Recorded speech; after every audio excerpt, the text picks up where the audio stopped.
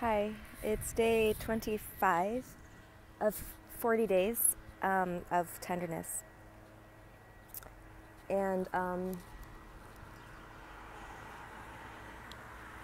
let's see where to begin. Um, today's April 1st. It's April Fool's Day. And um, it is. Uh, like yesterday I, was talking about this idea of risk and what i'm being asked to risk and realizing that it's about tenderness of course about you know can i can i risk trusting? Can i risk letting go of doubt and trusting that all is taken care of? Because um, i'm also looking at um, prosperity what it means to be abundant and um,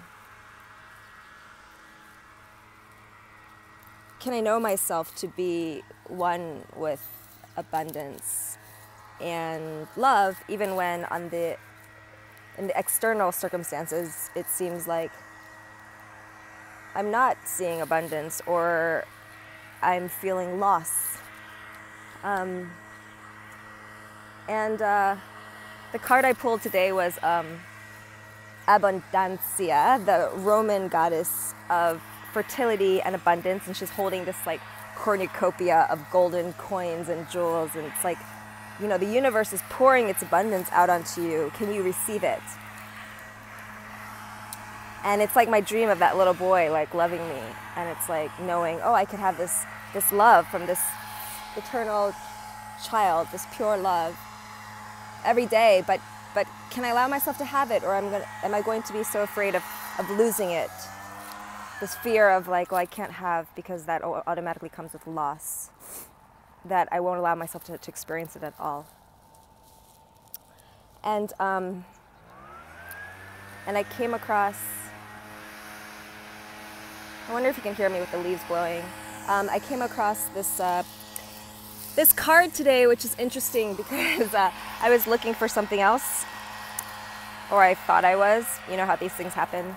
And I came across this card it's the Fool, and it says, um,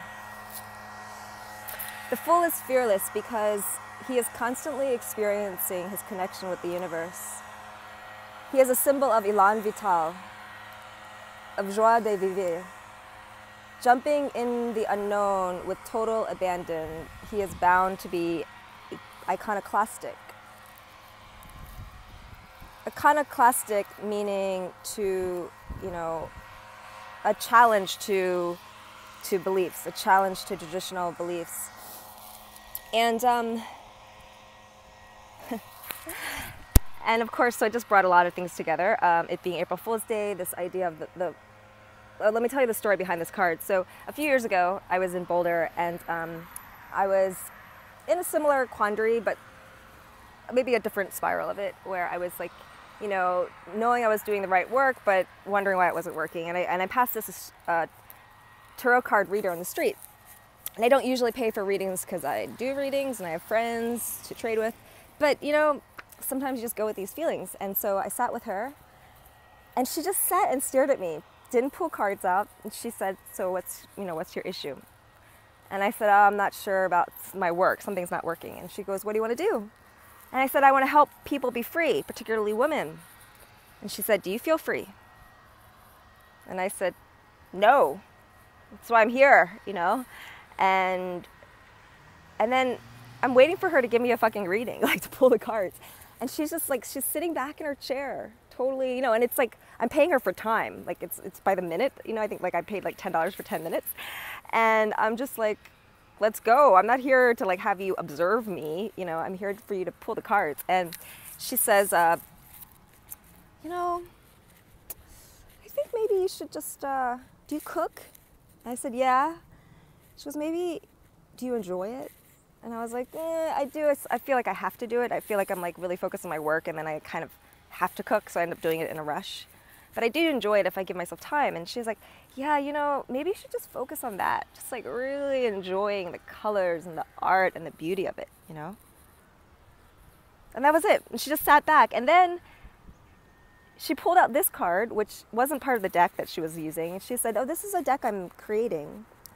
And it's I took this photo of this guy who to me exemplified the energy of the fool.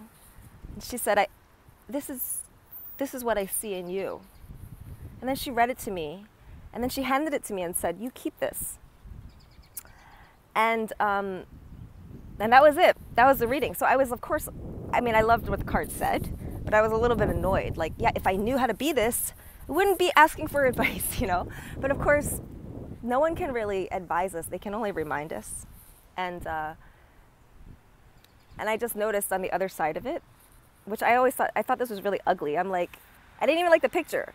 I'm like, the tarot card thing should be like mystical and magical, not like this like country, I don't know, this, I didn't like the way it looked. But it's, it is like a cornucopia, right? It's a basket with food just flowing out. And considering I'm doing a cleanse now, which is focusing on how I'm consistently being fed by, with bounty and with love by eating the mother's body. This is all perfectly appropriate.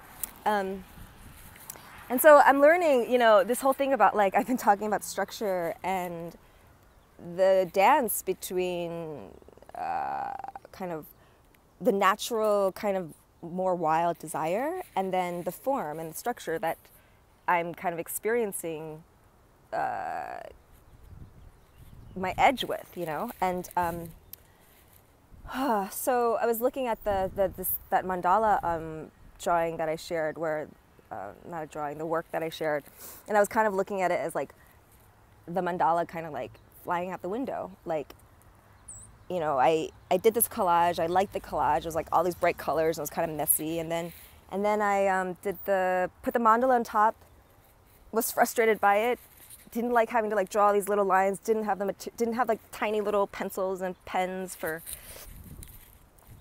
to make it look right and annoyed me. And, um, and then I left it alone. And then like the next day I went back to it and I, because I already didn't like it now, I didn't have any expectations. I allowed myself to, to play with it and I kind of I put in different colors and it was acrylic so it dries really fast. So then if I didn't like it, I just tried a different color and kept doing that. And then I took away some lines so that it was less detailed. And in the end, you know, I actually ended up liking it. And it was this other this other insight of like it's not about undoing the mandala or the order. It's about setting it free. Like can we have freedom within form? And and when I um, it's like the butterfly and the caterpillar, right? The butterfly is no longer bound, but it's not like the, it, the, the caterpillar has completely disappeared. It's not like we're putting it to death, right? Um, we're just letting it become unbound. And this um, and this this thing of like allowing myself to be flexible, like instead of just giving up with the painting like I usually would do, like, okay, this sucks now, um, to just keep working with it and and finding myself within it. Like I didn't follow the directions and I didn't stay within the lines necessarily and I didn't use the materials that would have been easier. I did it my way.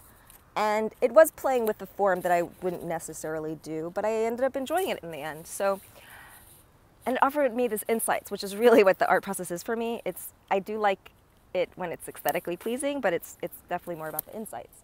And really, when it's um, when I do receive insights, it ends up being aesthetically pleasing. Like I'm able to actually see the beauty in it, maybe even if objectively other people couldn't, because I, I'm receiving something from it. Um, so